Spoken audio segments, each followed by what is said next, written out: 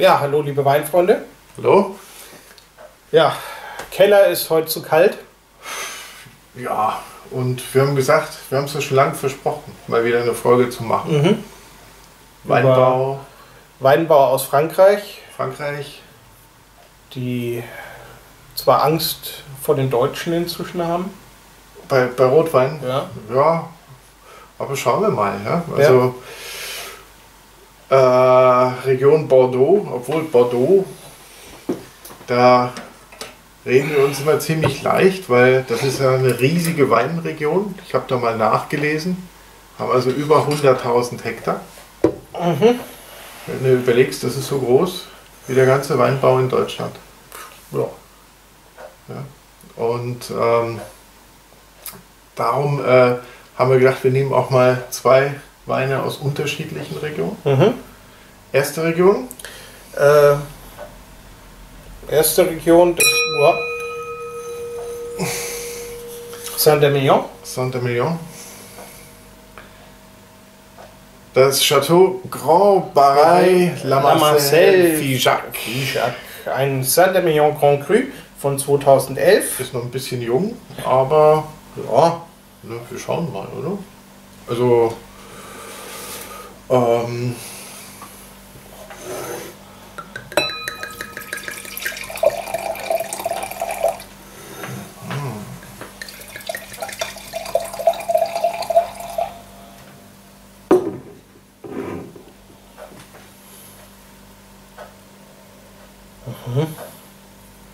also wenn ich jetzt schon so reinriech, da der ist sehr Merlot-lastig.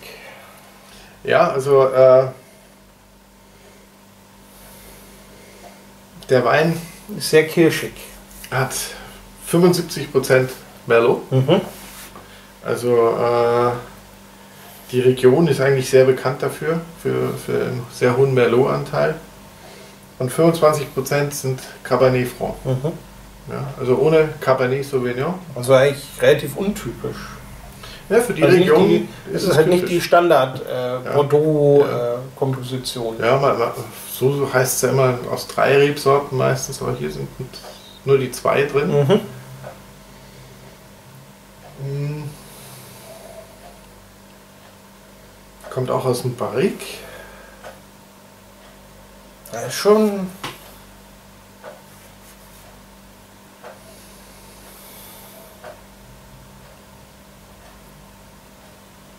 Ich also schon so nach dunklen Beeren. Ne? Mhm. Aber ich finde auch nach Kirsche. Hm, habe ich schon gesagt, ja. Ah, ah so, so, so So hört er mir zu. Das ist super echt. Das sind schöne schwarze. So die, diese.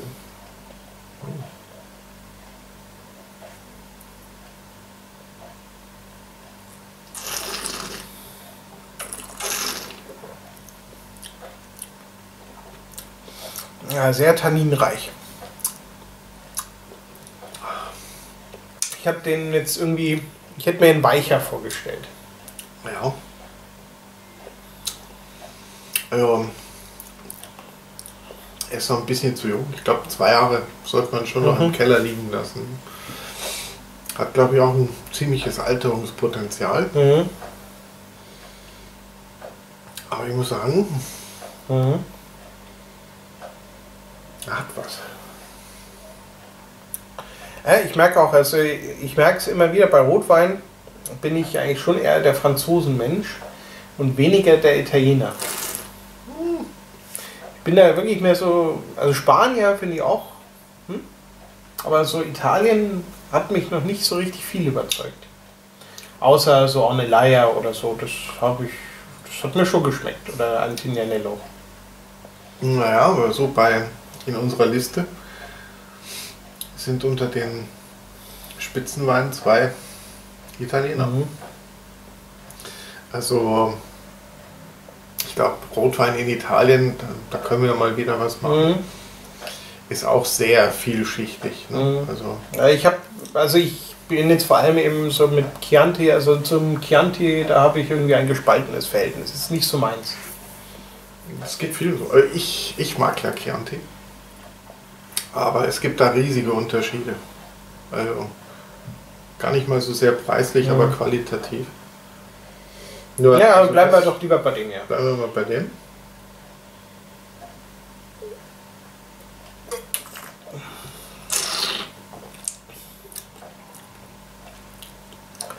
Weil der Holz, das Holz ist mir zu heftig.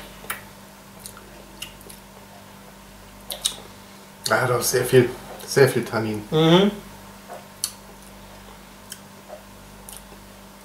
Ist jetzt preislich. Ist es so zwischen 20 Und 25, sowas.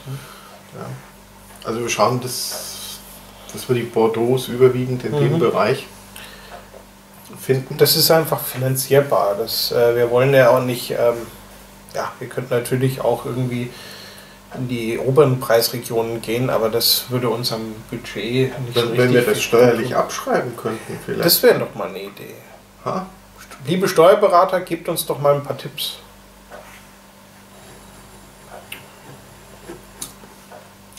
Äh, ist schön, Ist ist auch, hat auch Potenzial, Ja. aber vom aktuellen Stand, ähm, ja, da Er ist er, er ist noch nicht. ist er mir zu ungestüm. Ja, ja, ja. Also er braucht noch ein paar Jahre auf der Flasche, aber hat eigentlich gute, gute Voraussetzungen. Ja. Mhm. In dem jetzigen Zustand, aber über 40 ist er. Also das auf jeden Fall. Aber wie gesagt, ähm, ja, ich würde ihn so. hm. Ja, warten wir mal ab. Probieren wir erstmal den zweiten. Zweiter Wein. Hältst du ihn in die Kamera? Gerne. Also Chateau Cabern äh, Gascuton. Langer Name, oder? Weinregion Saint-Estèphe. Mhm. Und da haben wir Da habe ich mal äh, gehört, dass die bessere Böden haben Ja, und deswegen äh, weniger nicht so steinig sind und deswegen sind es eher so Lehmböden dort. Ja, ja, das ist äh, in der Region eher Lehmböden. Mhm. Ja, an den Glas komme ich gerade nicht dran. Ich auch nicht.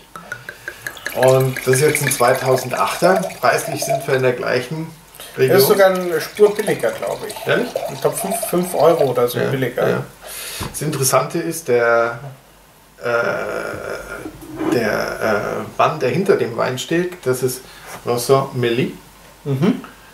ist also ein bekannter Weinmacher in Frankreich, arbeitet äh, für das Chateau äh, Calon-Ségur. Mhm.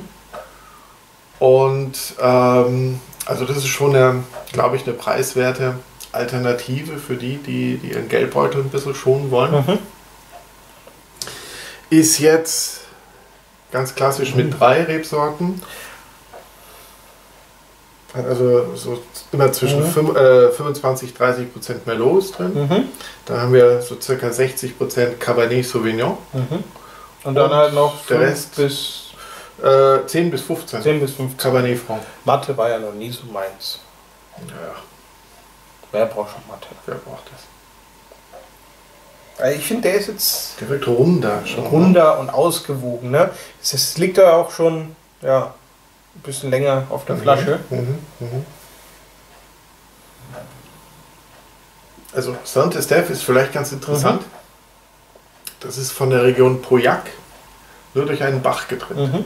Das sind also Nachbarregionen. Und ähm, Ist direkt im nördlichen Ende von Bordeaux, oder? Mhm, mhm. Wenn ich mich nicht ganz täusche. also am, am, die Region ist, glaube ich, da nördliches Ende vom, vom Haute Médoc. Mhm. Und hm, also der, der riecht jetzt wesentlich kirschiger als der erste. Mhm. Ne? Wesentlich mehr. Chateau Pauillac, kann ich den Namen irgendwoher aus die zwei? Kann das sein? Projekt. Ähm, Ich weiß es nicht Ich mehr, aber irgendwie erste Folge von die zwei, da kam doch irgendwas mit dem Weingut. und da haben sie eine Weinprobe gemacht. Ja, das war eine sehr sympathische Szene übrigens. Nutzen wir die Zeit doch für eine Weinprobe. Schwesterchens Muttermal. Ja, super Folge. Die Folge. Übrigens die zwei, sehr empfehlenswert. Cool, aber nur die deutsche Version. Ja. Auf Englisch irgendwie. Auf Englisch eher fad. langweilig, aber die deutsche Synchronisation, damals war Synchronisation noch spitze. Mhm. Also Heutzutage ist es ja eher umgekehrt. Äh, ich schaue mir die Filme meistens dann doch lieber im Original an. weil es einfach irgendwie doch besser ist, weil ich irgendwie von den deutschen Synchronfassungen inzwischen ein bisschen enttäuscht bin. Aber bleiben wir wieder beim Wein, bevor wir abschwei- abschweifen. Okay. Also hier merkt man den höheren An- Anteil vom Cabernet Sauvignon. Neben der Kirsche kommt das Cassis, ne? Also die schwarze Johannisbeere. Und ich finde, der ist irgendwie rund. Den du den so trinkst, Der ist länger im Keller ja, gewesen. der ist einfach richtig schön. Schöner Wein. Der ist echt. Also allein vom ersten Eindruck hier äh, Sieger des, Ta des Abends heute. Ja. Der ist rund, der ist lecker. Da kann man sich auch vorstellen, dass man vielleicht in eine Burgerbude geht und den, dann unterm Tisch so heimlich. Ein Burger wäre keine schlechte Idee heute, gell? Ein guter Burger, wenn der gut gemacht ist, ist der schon Ja, lecker. Also, also nicht dieses Pappzeug. Ja? Nein, nein, nein, nein, nein, richtig schön. Richtig frischer. Und dann, aber der, der Wein gefällt mir sehr gut. Mhm.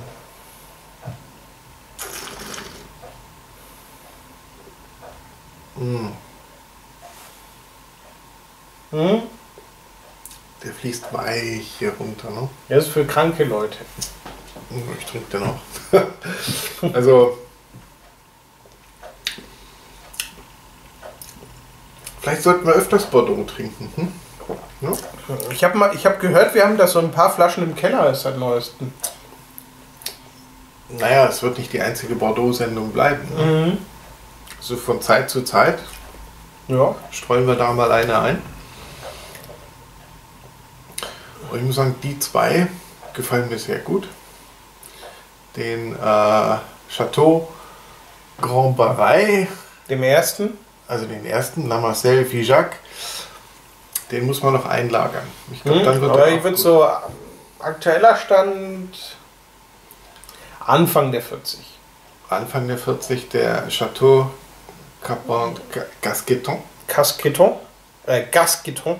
Gasqueton, Der Mitte der 40, würde ich schon sagen. ja, wirklich. Zwischen 43, 44. Ja, ja, da sehe ich ihn auch. 44. 44 hat er. Und der andere? Ja, 41 würde ich im Moment das sagen. Passt. Das passt. Also beide haben aber auch noch so eine, so eine Note nach Nougat, finde ich. Ne? Mhm. Also nicht nur die, die Frucht, das sind beide viel. Aber hier, hier kommt jetzt immer mehr. Ja, der ist. Der ist Bombe. Der gefällt mir.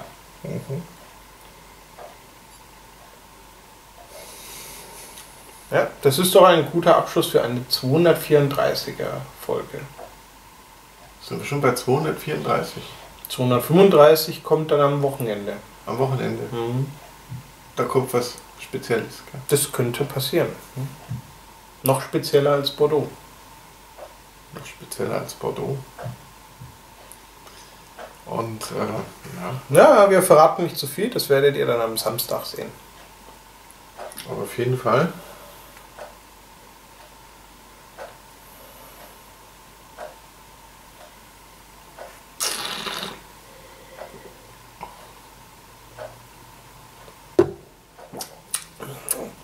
Fließgeschwindigkeit ist auch gut. Ja, der kann aber auch noch liegen. Also das sind beides Weine, Die dürfen 10 Jahre liegen. Kein locker, Problem. kein Problem. Aber äh, Potenzial ist jetzt schon da.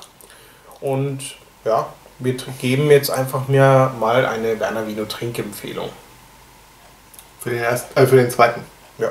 Ja, ja. Der erste hat erstmal eine Lagerempfehlung. genau. Und der zweite, den kann man jetzt schön trinken. Vor allen Dingen, der passt zu ziemlich viel. Hm? Ja, und ja, also vielleicht kann ab und zu Bordeaux doch eine Alternative zu Bourgogne sein. Ne? Mhm. Naja, na doch schon. schon. Also der, mir, mir gefällt der sehr gut. Ja. Und äh, ich, ich, ich, ich versuche den gerade so zu vergleichen mit internationalen Weinen, Mhm. die auch die, die, diese Cuvée-Richtung haben. Es ist Und schon. Da ist er schon eigen. Ja. Also. Aber ich finde trotzdem, also wenn ich jetzt zum Beispiel aus Österreich so einen, so einen in der Art habe, also wenn da halt anders. Zweige drin ist, der ist wilder. Finde ich. immer. Ja? Ich Ja. finde, der ist wilder. Und der ist einfach sanfter. Er einfach runder und sanfter. Und Passt. Ne?